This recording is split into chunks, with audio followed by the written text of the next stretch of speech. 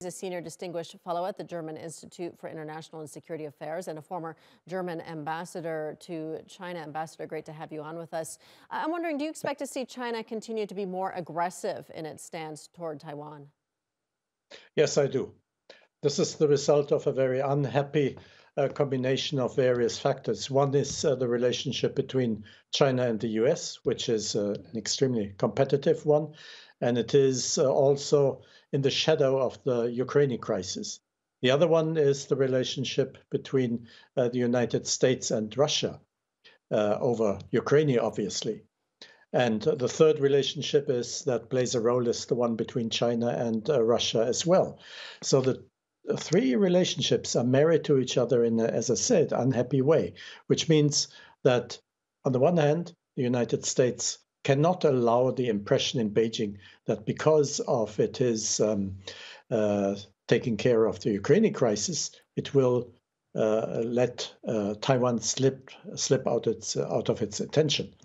Uh, and uh, secondly, the Chinese cannot allow uh, the impression that because they are fearful of the consequences of their alliance with Russia, they will not be as strict over Taiwan as they used to be.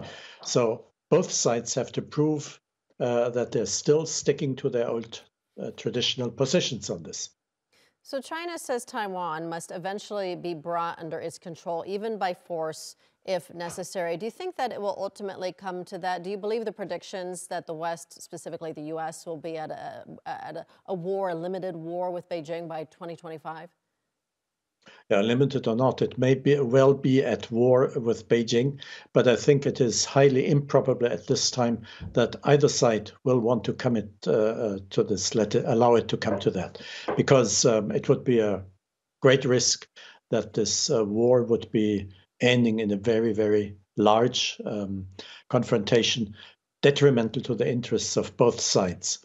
So both sides will try to keep the crisis uh, limited, but that doesn't mean when your face is at stake that in the end you would not uh, avoid every risk.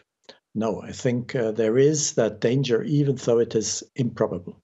Given those risks of a potential war, uh, do you think it's even realistic that we would likely see the West respond to China in a similar way that we've seen uh, the West respond to Russia with its invasion with Ukraine and trying to isolate Russia? Do you think that we would see a similar approach in sanctions and trying to isolate China, given that, that much of the world really is dependent on China in many, many ways?